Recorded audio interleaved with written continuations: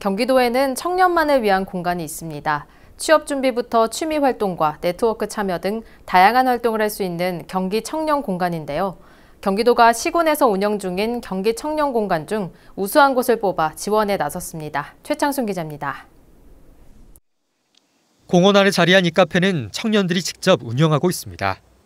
지자체가 마련한 장소에서 10여 명의 청년 플래너들이 바리스타 교육을 받고 메뉴 선정부터 음료 제조, 매장 관리 등 운영 전반에 참여합니다.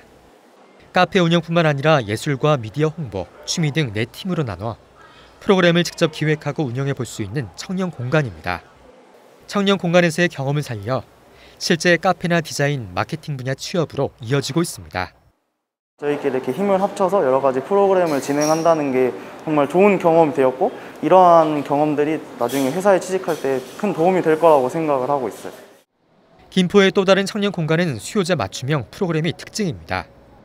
문화 취미 프로그램이 한창인데 청년 전문가가 강사가 돼 또래 청년들에게 알려주는 서로서로 클래스입니다.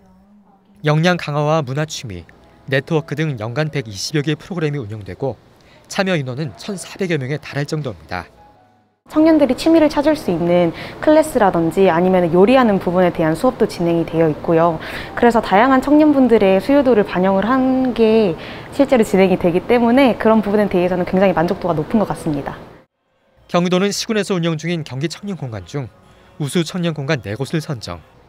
프로그램 운영과 홍보 사업비를 지원하고 적극 홍보할 계획입니다. 지금까지는 조성이라는 하드웨어 측면에 집중을 했었다면 이제부터는 공간 내 프로그램과 운영 활성화를 위해서 음, 내실화를 가지려고 합니다. 그의 시작으로 이번에 우수 청년 공간을 선정을 하였습니다. 경기도는 2018년부터 도내 15개 시군에 청년 공간 9개소를 운영하고 6개소를 조성하고 있습니다. 경기 GTV 최창순입니다.